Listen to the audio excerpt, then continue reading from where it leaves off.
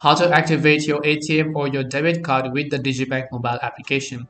Hi everyone, welcome back to our channel. I am Bimal from How to Geek and in today's guide video I will show you the way as to how you can go ahead and activate your credit card using the Digibank mobile application.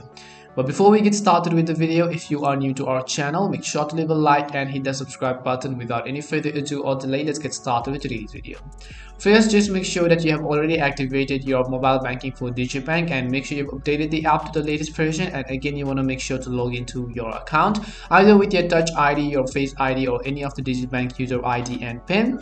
After you log into your account, you will see this kind of interface. Now, what you have to do is from the very bottom right hand side of the screen, you just want to tap on the option called More, which is this four square icon at the bottom right hand side. And as soon as you tap on the More tab, you'll be taken to this particular page where under the Manage card and loan section you'll find a button that says activate card. So all you have to do is to simply tap on the activate cards button. Once you've done that you have to simply select activate atm or debit card. By the way you can also actually go ahead and then activate your credit card. But then for that we've already made another video. You can go ahead and watch that. For now just tap on activate atm or debit card.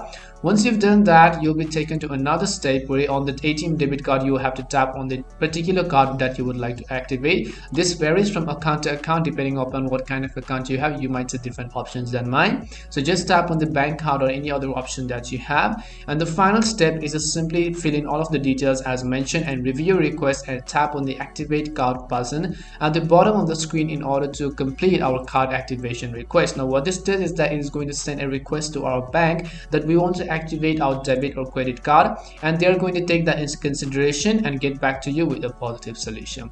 And this is simply how you can go ahead and then activate your ATM or debit card using the Digibank mobile application. We hope the video was really helpful and if it did help you make sure to leave a like and subscribe to the channel.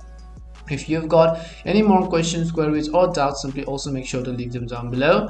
Thank you very much for watching till the end and see you soon in our next video.